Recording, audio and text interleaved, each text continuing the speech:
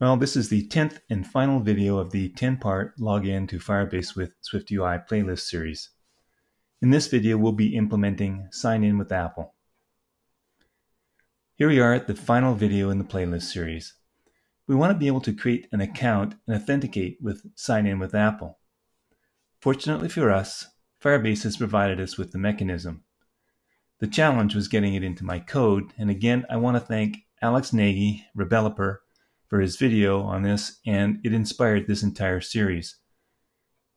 You can review the Google Docs as well, and I'll leave a link to both in the notes below. If I go to the Sign In with Apple view, I see I have a couple of warnings. The first one is that I need to provide a nonce. We have a current nonce optional string variable all set up, waiting for assignment. For every sign-in request, we need to generate a random string and that's which we will use to make sure that the Apple ID token we get was granted specifically in response to our Apple's authentication request. In our FBAuth namespace, we have a function called random nonce string that we can use, and this code comes directly from the Firebase documentation. So to solve our first warning, we can replace it with current nonce equals fbauth.randomString. And now we need to do something with the authorization controller's did complete with authorization function. Before we go there, notice that our authorization controller will use a nonce, and we also create what is called an ID token string. When we attempt to authenticate, we will need these two things. And we're going to replace this warning with the sign in with Apple authorization function that's in our FBAuth namespace. So let's take a look at that now.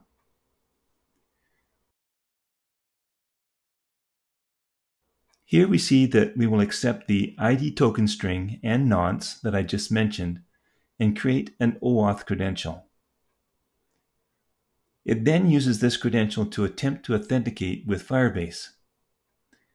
If it fails, the completion result parameter is the failure with error, and it returns. Similarly, if we get no result back from Apple, we complete with failure. What I'm interested in is the successful response that will be an auth data result.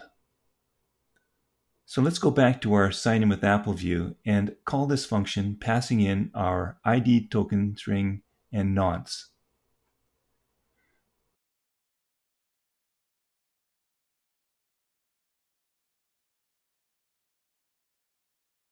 We'll switch on result, and if it's a failure, we'll just print the error. If it's a success, we're going to have to handle this response, which you see is an auth data result. So we'll get to that. So let's go back to FBAuth.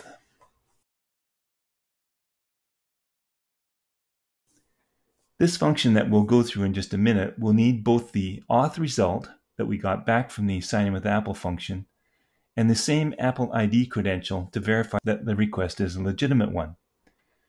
We'll pass this in as a tuple, but to make it easier to read, we can create a type alias called sign in with Apple result that will be a tuple containing these two elements.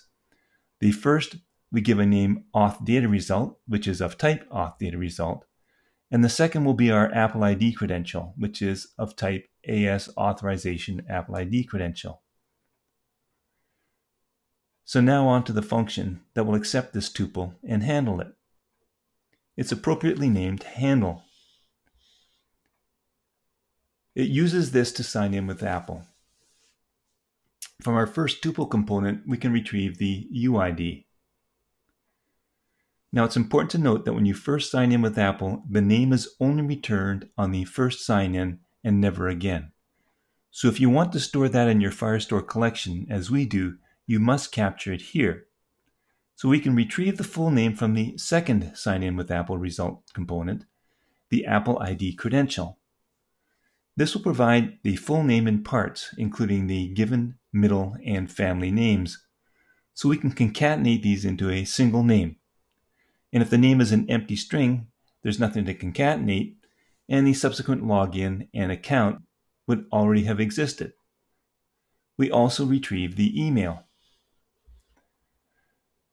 Now we can use the fbuser datadict function to create our data dictionary and pass it on to the same merge fbuser function in the FB Firestore file namespace that we used when we did the email sign-in.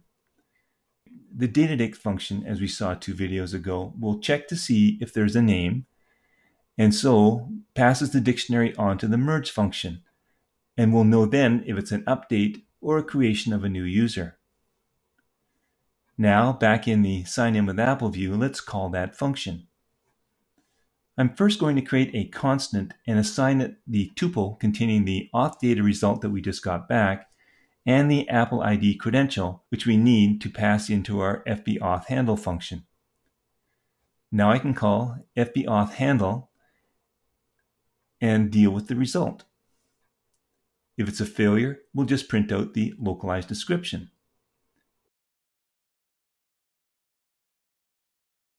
If it's a success, we'll print out successful login, and this will initiate a state change and refresh our views. Let's try that out. Remember, if you're running on your simulator, you'll have to be signed in to an account. I'll tap on Continue and choose to share my full name, and I'm going to choose Hide My Email and since I'm on the simulator, I'll need to continue and enter my password. And after authentication, the account is created in Firestore and Firebase, and I'm signed in with my full name displayed. So let's log out now and try this on a real device. This time when I tap on the Continue with Apple button, it asks me if I want to continue and since I have an iPhone XS Max, I have Face ID.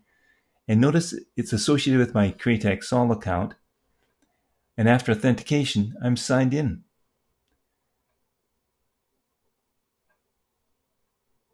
Before I finish, let's return to our Firebase console for our project.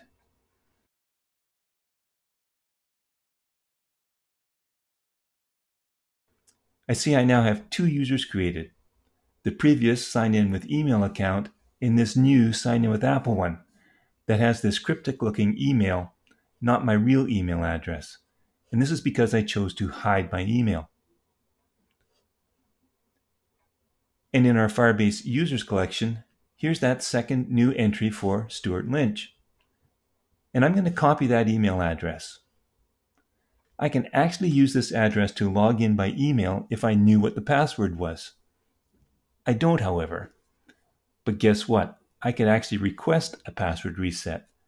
And because this email address is registered with Apple and Google, the forwarding will actually work and I'll get a message that allows me to change the password and I can log in then after using either email or sign in with Apple. So let's try that out. I'll run on the simulator and request a password reset for that email that I just copied. Looks like it was successful. This time it takes a little longer to receive the email, but eventually the email gets routed to your Apple ID email address. And this is a different account from the one that we saw in the previous video. This one is associated with my Apple ID. So I'll click on the link and enter a new password.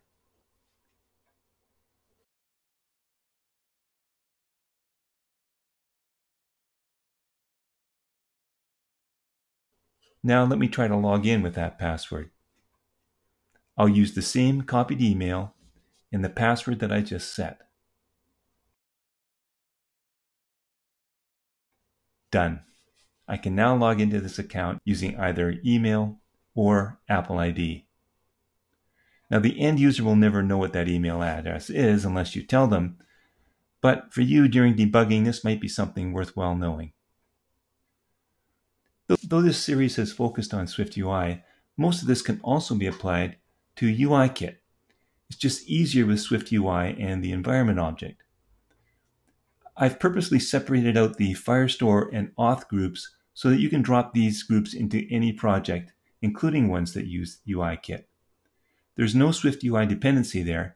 You'll just need to create your login flow and interface to use view controllers but they will closely resemble those files that I provided in this group here. The actions will be very similar. calling the same functions in the Firestore and auth groups. If you want to incorporate this into an existing SwiftUI project, you can use all three groups because the existing content will start here. You can replace your content view with this file, and then all you have to do is replace your previous content view file here where I have home view. And make sure that you include your environment object when it appears to retrieve the Firebase user information. Well, that was a bit of a marathon, but I hope you've learned something. If you like this video and series, please give it a thumbs up and subscribe to my channel. Tap the bell to be notified on any new videos that I create, and be sure to follow me on Twitter, where I am most active. Thanks for watching.